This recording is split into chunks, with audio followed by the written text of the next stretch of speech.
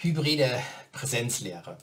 Ich möchte heute Ihnen ein paar Gedanken mitgeben über die Gestaltung von Seminaren mit Zoom, bei denen Lernende zu Hause und lernende Studierende vor Ort in einem System zusammengestaltet sind.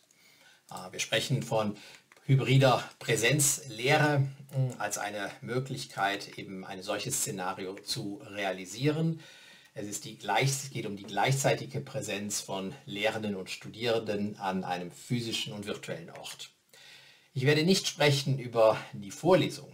Äh, die Vorlesung ist eine spezielle Situation. Ähm, da geht es vor allen Dingen um die Aufzeichnung von Vortragenden und eben später die äh, Bereitstellung dieser Aufzeichnung im Internet für gerade auch bildungswissenschaftliche Szenarien, sozialwissenschaftliche Szenarien, ist ja das Seminar eine besonders interessante ähm, Unterrichtsform. Hier geht es ja neben Präsentationen auch um Gruppendiskussionen mit beispielsweise zehn Teilnehmenden vor Ort und zehn Teilnehmenden in einem virtuellen äh, Szenario zu Hause. Da geht es nicht um die Nachbereitung und die Bereitstellung, sondern es geht eben halt primär um die Gestaltung einer solchen Kommunikationssituation über die verschiedenen Orte hinweg. Hier werde ich im Folgenden mich konzentrieren auf ein Setting und auf ein Setup mit einem Windows-PC und Zoom. Das sieht mit MacBook und anderen äh, Kommunikationstools etwas anders aus, aber im Prinzip sind immer die gleichen eigentlich auch Herausforderungen zu bewältigen.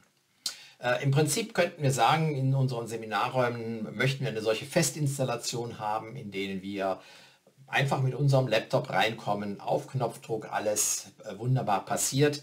Ja, es gibt einzige, einige Hochschulen, die solche Festinstallationen auch vorhalten.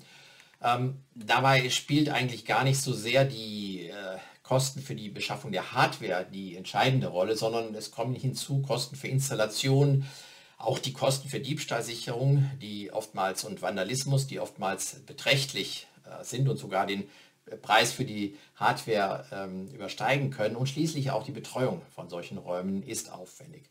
Deswegen ähm, ist eben die Alternative ein mobiles Setup, wo die Lehrkräfte sozusagen selbst ihr, ähm, ihre Technik einbringen und äh, entsprechend dann eben äh, aufbauen und nutzen. Ich habe hier ein solches Setting einmal beschrieben.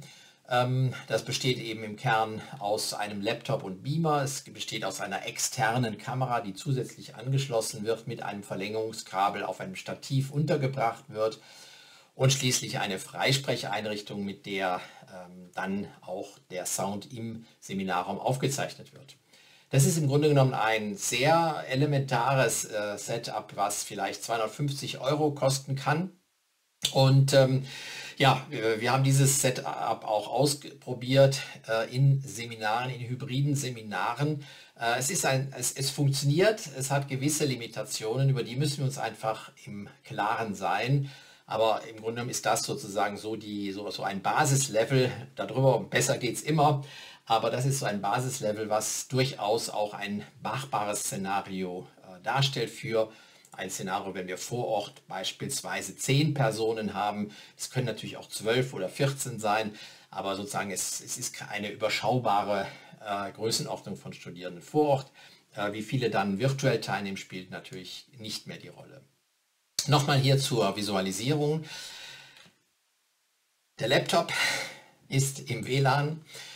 Ähm, Sie sehen hier schon einen Punkt, der für mich praktisch sehr wichtig ist. Es ist klug, ein, eine Art Podest zu haben, einen Aufsatz aufzuhaben, äh, um äh, ein Pult, äh, damit der Laptop nicht auf dem Tisch steht, damit ich so nach unten schaue in die Kamera, sondern dass eben halt, wenn ich den, äh, das Laptop aufklappe, dass dann eben halt die Kamera eben auf ungefähr Augenhöhe wäre.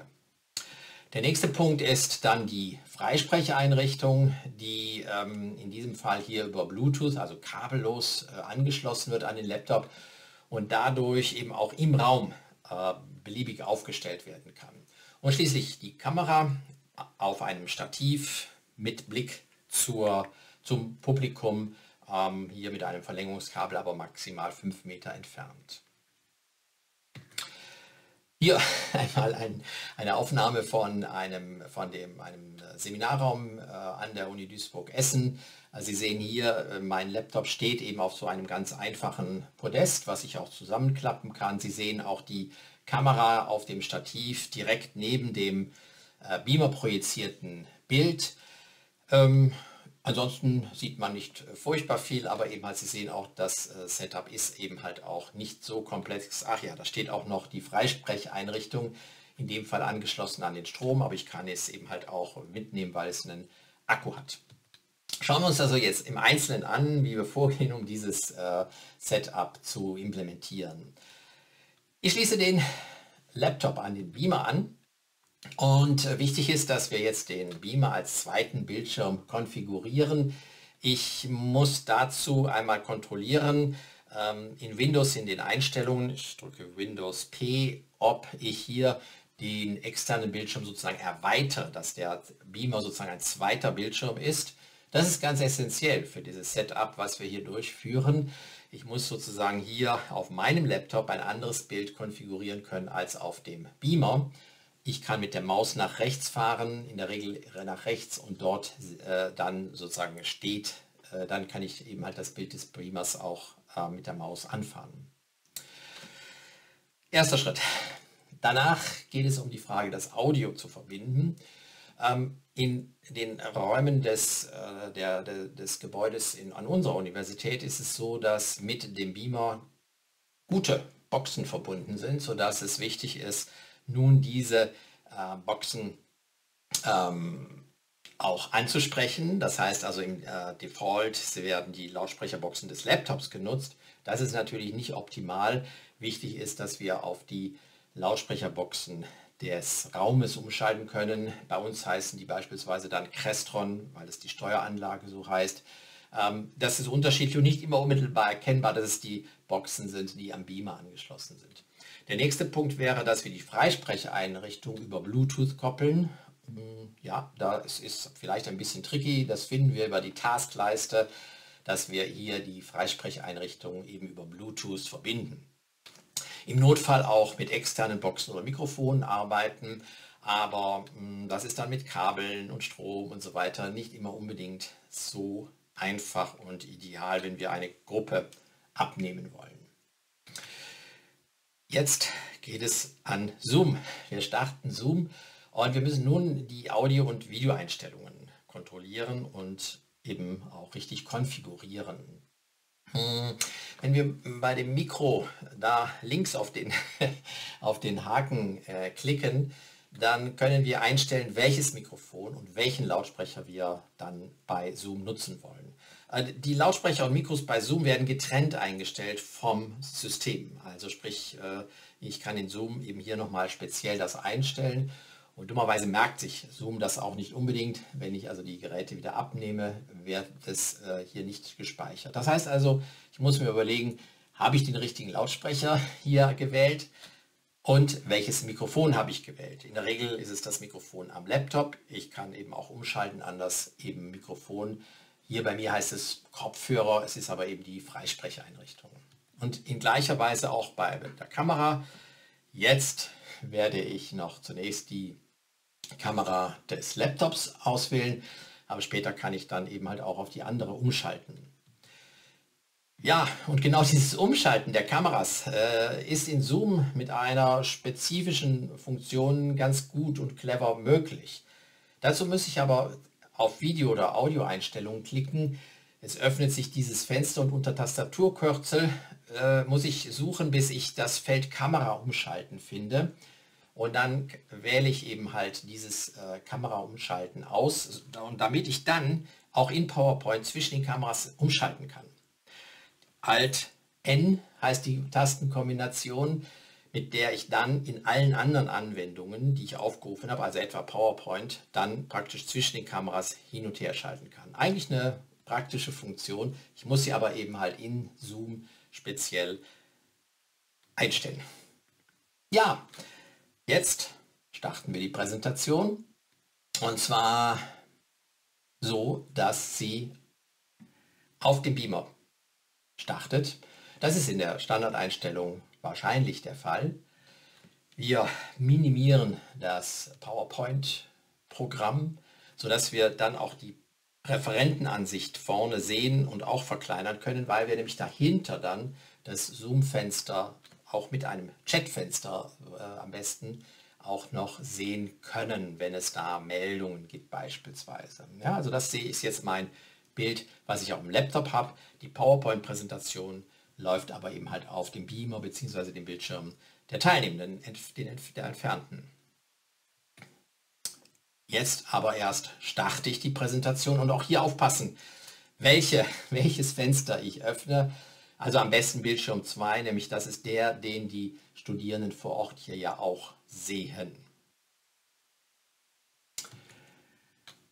Wenn ich dann in der Präsentation bin, kann ich auch mit Alt-N zwischen den Kameras wechseln. Und jetzt hier ein kleiner didaktischer Hinweis. Ähm, wir müssen uns klar machen, dass wir im Grunde genommen mental näher dran sind an den Studierenden vor Ort. Wir, wir, neigen dazu, die Studierenden vor Ort eher anzusprechen, sie eher im Blick zu haben. Und auch die Studierenden, eben die Remote Students, fühlen sich weniger eingebunden, weniger leicht ansprechbar. Deswegen ist es klug, ganz gezielt die Studierenden an den Bildschirmen anzusprechen, äh, wenn wir mit ihnen ins Gespräch kommen wollen. Empirische Untersuchungen sind da recht eindeutig. Die Beteiligung der Remote Students in einer solchen hybriden Session ist deutlich niedriger, wenn nicht gezielt wir sie einbinden.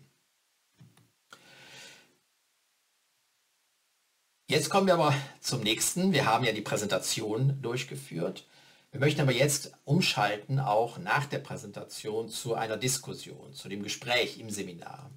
Also wir stoppen die Freigabe der PowerPoint und können nun eine andere Freigabe starten, nämlich den Inhalt der zweiten Kamera. Dazu gehen wir bei der Freigabe in Zoom diesmal auf Erweitert.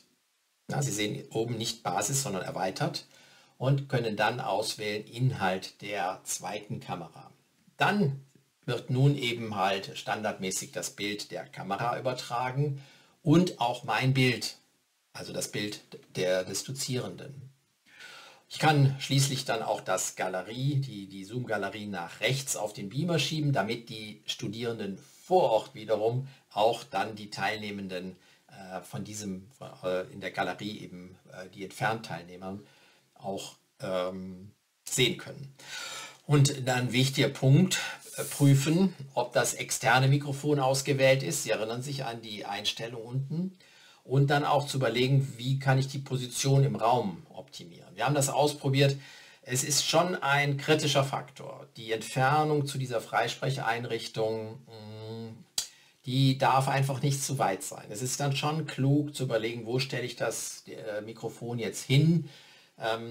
Wir wollen es aus Hygienegründen vielleicht nicht den, den Studierenden in die Hand geben, aber ich kann es eben halt an eine bestimmte Stelle auch äh, legen.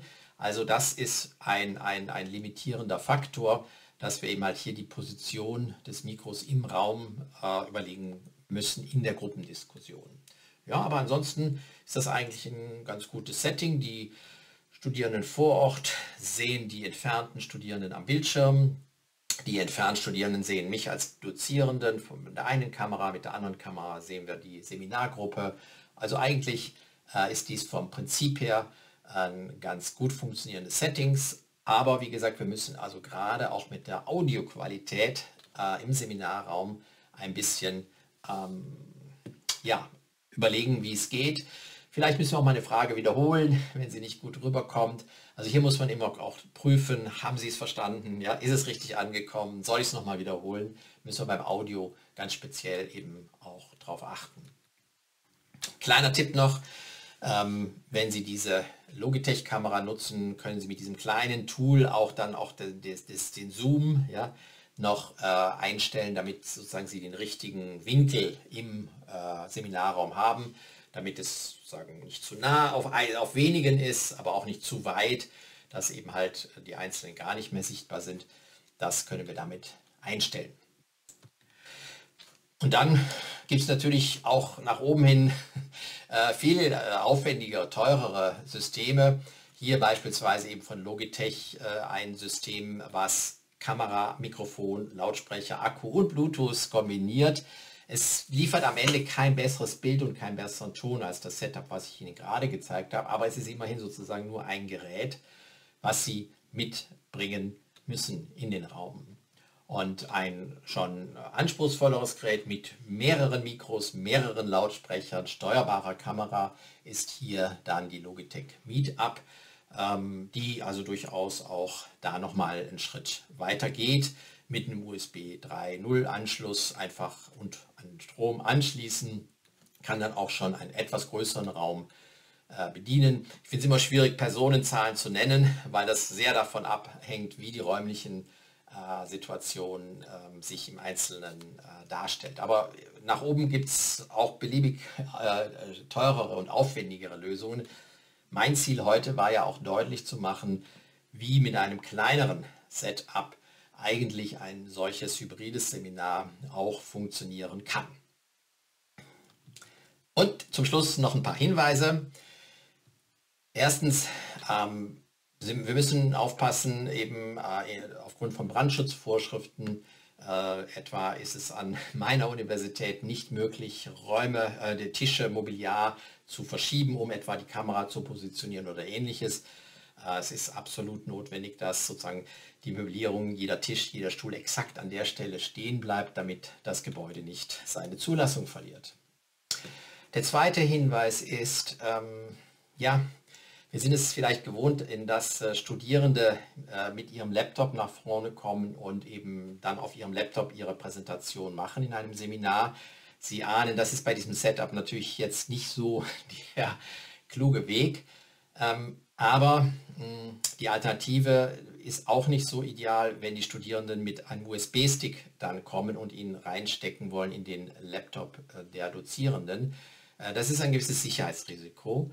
Äh, hier empfiehlt es sich einfach die PowerPoint-Präsentation sich per E-Mail zuschicken zu lassen, auch noch im Seminar. Das geht ja schnell, weil der Mail-Server Mail im Grunde genommen die Sicherheit dann prüft und man es dann aus dem Mail-Postfach am besten starten kann.